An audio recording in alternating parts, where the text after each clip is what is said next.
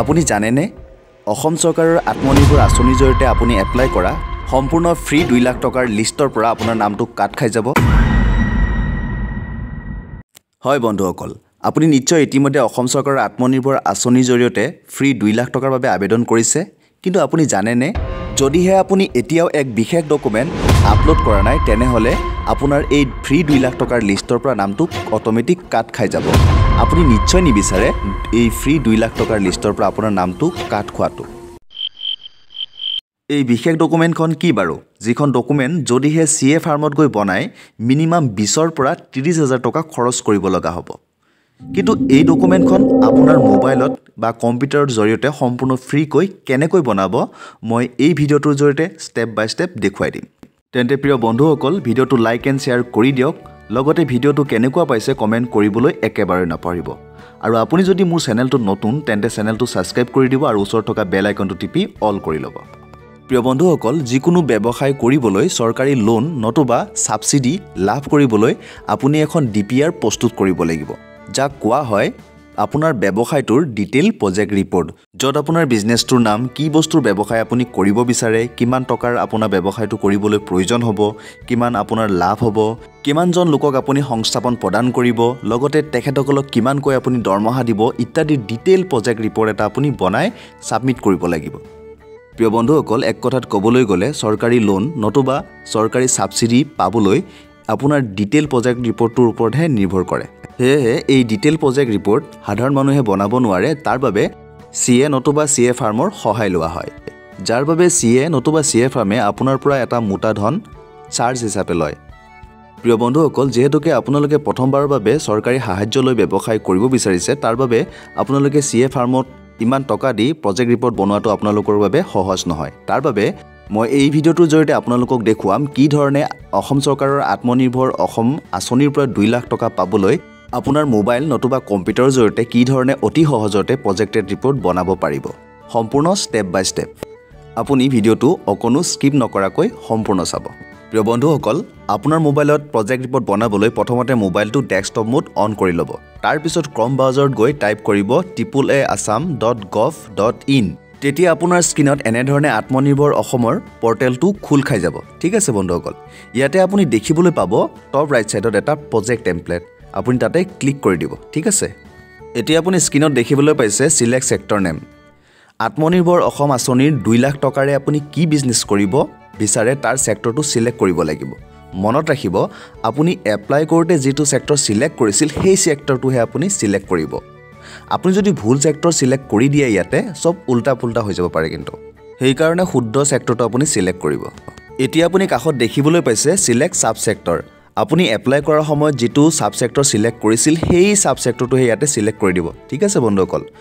মই জাষ্ট আপোনালোকক দেখুৱাবলৈ পল্ট্ৰি ফাৰ্ম এখনৰ প্ৰজেক্ট ৰিপৰ্ট ডাউনলোড কৰিম। এতিয়া তলত দেখিবলৈ পাইছে ভিউ এণ্ড ডাউনলোড ইয়াতে ক্লিক কৰি দি ডাউনলোড কৰি দিব।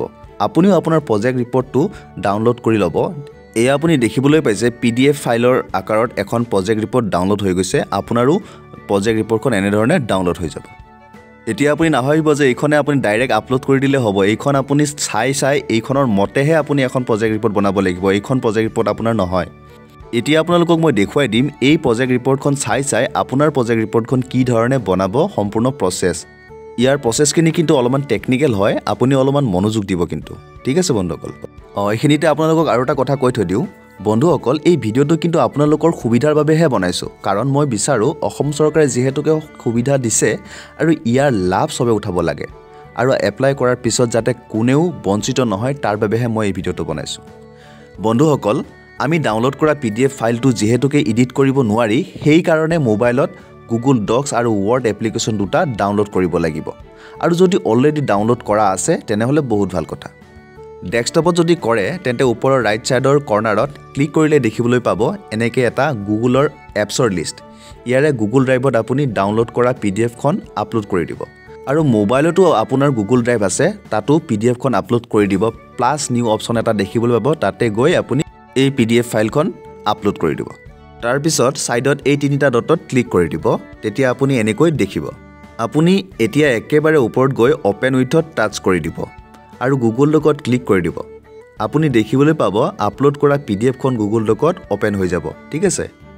এতিয়া আপোনাৰ স্ক্ৰীনৰ লেফ্ট ছাইডত দেখিবলৈ পাব ডাউনলোড অপশ্যন তাতে টাচ কৰি দিব। তেতিয়া এইফালে দেখিবলৈ পাব মাইক্ৰ'ছফ্ট ৱৰ্ডছ ডক্স ইয়াতে ক্লিক কৰি দিব। লগে লগে মাইক্ৰ'ছফ্ট ৱৰ্ডত ডাউনলোড হৈ যাব আৰু ইডিট অপশ্যনটো এনেবল কৰি দিব। এতিয়াৰ পৰা আপোনাৰ পি ডি এফখন ইডিট কৰিব পাৰিব। প্ৰিয় বন্ধুসকল আমি এইখিনি কিয় কৰিব লগা হ'ল জানেনে? কাৰণ পি ডি এফ ফাইল কেতিয়াও ইডিট কৰিব পৰা নাযায় ডাইৰেক্টলি। সেইকাৰণে আমি এই প্ৰচেছখিনি কৰি ল'ব লাগিব যাতে আমি সোনকালে ইডিট কৰিব পাৰোঁ।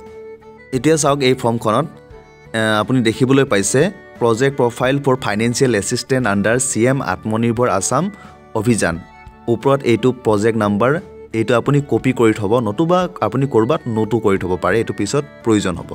এতিয়া আপুনি তললৈকে আহক।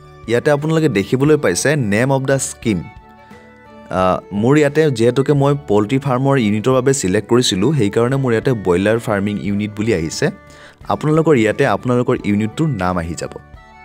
তাৰপিছত দেখিবলৈ পাইছে প্ৰজেক্ট কষ্ট চাৰি লাখ। এই প্ৰজেক্ট কষ্টটো আপোনালোকৰ যদি চাৰি লাখ টকা হয় তেনেহ'লে চাৰি লাখ টকাই ৰাখিব। নতুবা যদি আপোনালোকৰ বেছি হয় বা ইয়াতকৈ অলপ কম হয় তেনেহ'লে আপোনালোকে সেইটো আপোনালোকৰ প্ৰজেক্টটোৰ কষ্ট অনুসৰি এই প্ৰজেক্টৰ কষ্টটো আপোনালোকে লিখি ল'ব। হয়তো আপোনালোকৰ দুই লাখ টকা হ'ব পাৰে নতুবা কাৰোবাৰ তিনি লাখ টকা কাৰোবাৰ চাৰি লাখ টকা নতুবা কাৰোবাৰ পাঁচ লাখ টকা কাৰোবাৰ ছয় লাখ টকা হ'ব। যিয়েই হয় আপোনালোকৰ প্ৰজেক্টটো কৰিবৰ বাবে যিমান টকা খৰচ হ'ব সেই প্ৰজেক্টৰ কষ্টটো আপোনালোকে ইয়াতে লিখি দিব। মই আপোনালোকক এটা টিপছ দিওঁ। আপোনালোকৰ প্ৰজেক্টটো মিনিমাম তিনি লাখ টকাৰ পৰা মেক্সিমাম ছয় লাখ বা সাত লাখৰ ভিতৰত বনাব। এতিয়া আপোনালোকে এই ডিটেইলসমূহ ইডিট কৰিব লাগিব। এক নম্বৰতে আছে নেম অফ দ্য এণ্টাৰপ্ৰাইজ। ইয়াতে আপোনাৰ বিজনেছটোৰ যদি কিবা নাম আছে বা ৰাখিছে সেই নামটো ইয়াতে বহাই দিব। আপোনালোকৰ যিয়েই নাম ৰাখিছে সেই নামটো সুন্দৰকৈ ইয়াতে বহুৱাই দিব। তাৰপিছত আপোনালোকে দুই নম্বৰটোত দেখিবলৈ পাইছে আপুনি যদি ইণ্ডিভিজুৱেল বিজনেছ কৰিব বিচাৰে তেনেহ'লে ইণ্ডিভিজুৱেল বুলি আপোনালোকে লিখি দিব। নতুবা আপুনি কাৰোবাৰ সৈতে যদি পাৰ্টনাৰশ্বিপত বিজনেছ কৰিব বিচাৰিছে এই দুই লাখ টকা লৈ তেনেহ'লে আপোনালোকে লিখিব পাৰ্টনাৰশ্বিপ বুলি। তিনি নম্বৰত দেউতাৰ নামটো নহ'লে হাজবেণ্ড বা ৱাইফৰ নামটো লিখি দিব পাৰে। আৰু চাৰি নম্বৰত আপোনালোকে ফিল আপ কৰিব লাগিব কণ্টেক্ট ডিটেইল যেনে আপোনালোকে দেখিবলৈ পাইছে ডিষ্ট্ৰিক্ট আপোনালোকৰ ডিষ্ট্ৰিক্টখনৰ নাম লিখিব ইয়াতে। তাৰপিছত আছে এল এছ চি আপোনালোকৰ বিধানসভা সমষ্টিটোৰ নাম লিখিব। তাৰপিছত আছে ব্লক বা টাউন আপোনালোকৰ ব্লক বা টাউনটোৰ নামটো ছিলেক্ট কৰি লিখি দিব। তাৰপিছত আছে ভিলেজ আপোনালোকৰ গাঁওখনৰ নাম লিখিব ইয়াতে। তাৰপিছত আছে পি অ' অৰ্থাৎ পষ্ট অফিচ আপোনালোকৰ পষ্ট অফিচটোৰ নাম লিখিব। তাৰপিছত এটা ভেলিড ইমেইল আই ডি ইয়াতে লিখিব। তাৰপিছত আপোনালোকৰ পষ্টেল পিন ক'ডটো বহুৱাই বহুৱাই দিব। তাৰপিছত আছে লোকেশ্যন ডিটেইল ফিল আপ কৰিব লাগিব। লোকেশ্যন মানে আপোনালোকৰ ইউনিটটো ক'ত খুলিব তাৰ লোকেশ্যনটো লোকেশ্যনৰ ডিটেইল আপোনালোকে ভৰাব লাগিব ইয়াতে। প্ৰথমতে আছে আপোনালোকৰ ডিষ্ট্ৰিক্টটো তাৰপিছত L S C L S C মানে আছে আপোনালোকৰ বিধানসভা সমষ্টিটোৰ নাম তাৰপিছত ব্লক আৰু টাউন ইয়াতে আপোনালোকে বহুৱাব তাৰপিছত ভিলেজ পিনক'ড তাৰপিছত পষ্ট অফিচ এইবিলাক শুদ্ধকৈ আপোনালোকে বহুৱাই দিব। তাৰপিছত ছয় নম্বৰত আছে নিয়াৰেষ্ট ভেটেনেৰি চেণ্টাৰ মই যিহেতুকে এটা পল্ট্ৰি বিজনেছ কৰিম তাতে ভেটেনাৰীৰ লগত জড়িত হয় সেইকাৰণে ইয়াতে মই ভেটেনেৰী চেণ্টাৰটো বহুৱাব লাগিব। আপোনালোকৰ যদি এইটো নাথাকে অপশ্যন তেনেহ'লে আপোনালোকে বহুৱাব নালাগে। তাৰপিছত আছে সাত নম্বৰটো এক্সিষ্টিং বেংক ডিটেইলছ আপোনালোকৰ ইয়াতে বেংকৰ ডিটেইলটো আপোনালোকে বহুৱাব লাগিব যিটো বেংক একাউণ্টত আপোনালোকৰ এই দুই লাখ টকাটো ল'ব বিচাৰে। আপোনালোকে সেইকাৰণে বেংক একাউণ্টটো শুদ্ধকৈ বহুৱাব। এক নম্বৰটো আছে একাউণ্ট নম্বৰ ইয়াতে আপোনালোকৰ একাউণ্ট নম্বৰটো বহুৱাই দিব। তাৰপিছত বেংক বেংকৰ নামটো বহুৱাই দিব যেনে ষ্টেট বেংক ইউকো বেংক যিয়ে বেংক হয় আপোনালোকৰ বেংকটোৰ নাম বহুৱাই দিব। তাৰপিছত শুদ্ধকৈ আপোনালোকৰ ব্ৰাঞ্চৰ নামটো বহুৱাই দিব আৰু তলত বহুৱাব লাগিব আই এফ এছ চি ক'ডটো আপোনালোকৰ বেংকৰ একাউণ্টত থকা আই এফ এছ চি ক'ডটো শুদ্ধকৈ বহুৱাই দিব। তাৰপিছত আঠ নম্বৰ আছে প্ৰপ'জ এক্টিভিটি এইটো মই জানেই ব্ৰইলাৰৰ ফাৰ্মিঙৰ কাৰণে কৰিছিলোঁ সেইকাৰণে ব্ৰইলাৰ ফাৰ্মিঙৰ হ'ব। আৰু আপোনালোকৰ যিটো ফাৰ্মিঙৰ বা যিটো বিজনেছ কৰিব বিচাৰিছে তাৰ নামটো ইয়াতে বহুৱাই দিব। এতিয়া দহ number cost of the project মই যিহেতুকে ওপৰত তিনি লাখ টকাৰ কষ্ট বহুৱাইছিলোঁ সেইকাৰণে মোৰ ইয়াতে তিনি লাখ টকা বহুৱাব লাগিব। আপোনালোকে ওপৰত যিমান বহুৱাইছিল ইয়াতো সিমানে বহুৱাই দিব। তাৰপিছত দহ নম্বৰত আপোনালোকে দেখিবলৈ পাইছে গভমেণ্ট ছাবচিডি প্ৰথম বছৰত আপোনালোকে এক লাখ টকা পাব। আৰু মই যিহেতুকে তিনি লাখ টকাৰ বিজনে প্ৰজেক্টটো তাৰ বাবে মই বেংক লোন মই ল'ম দুই লাখ টকা। সেইকাৰণে মই তিনি লাখটো এডিট কৰি দুই লাখ লিখিম। তাৰপিছত মোৰ ট'টেল হ'ব চাৰি লাখ আছে লিখা ইয়াতে মোৰ হ'ব তিনি লাখ টকা। ঠিক আছে বন্ধুসকল আপোনালোকে এইটো আপোনালোকৰ মতে মিলাই লৈ লিখি ল'ব। এইখিনি লিখি লোৱাৰ পিছত আপোনালোকে ছেকেণ্ড ইনষ্টলমেণ্টত আকৌ নেক্সট বছৰ আকৌ এক লাখ টকা ছাবচিডি লাভ কৰিব। অৰ্থাৎ প্ৰথম বছৰ এক লাখ টকা আৰু নেক্সট বছৰ আপোনালোকে আকৌ এক লাখ টকা ট'টেল দুই লাখ টকা। এইখিনি ফিল আপ হৈ যোৱাৰ পিছত আপোনালোকে আৰু বেলেগ বিশেষ একো কৰিব লগা নাথাকে। যদিও আপোনালোকে কিছুমান চেঞ্জ কৰিব খোজে ইয়াতে লিখাৰ পৰা চেঞ্জ কৰি ল'ব পাৰে আপোনালোকৰ বিজনেছটো অনুসৰি।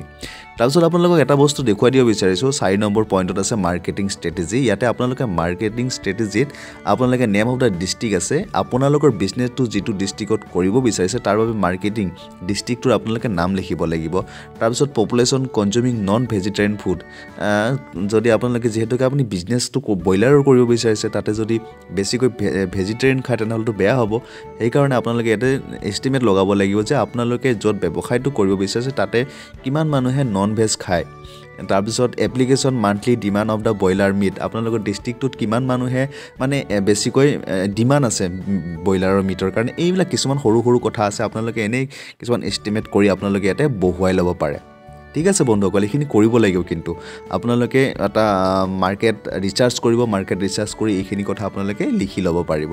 এইখনটো এটা এটা সাধাৰণ ব্ৰইলাৰৰ প্ৰজেক্ট হয়। আপোনালোকৰ প্ৰজেক্টটো হয়তো অলপমান ডিফাৰেণ্ট হ'ব পাৰে। আপোনালোকক মই প্ৰচেছটো দেখুৱাই দিলোঁ কি ধৰণে আপোনালোকে ইডিট কৰিব লাগে আৰু আপোনালোকে বহুৱাব পাৰিব। আপোনালোকৰ প্ৰজেক্টটোৰ যদি কিবা সমস্যা থাকে তেনেহ'লে মোক কমেণ্ট কৰিব। মই আপোনালোকৰ প্ৰজেক্টটো চাই আপোনালোকৰ প্ৰজেক্টৰ যাতে চলিউশ্যন দিব পাৰোঁ তাৰ বাবে চেষ্টা কৰিম আৰু ভিডিঅ' বনাবলৈ চেষ্টা কৰিম আপোনালোকে নিশ্চয় কমেণ্ট কৰিব।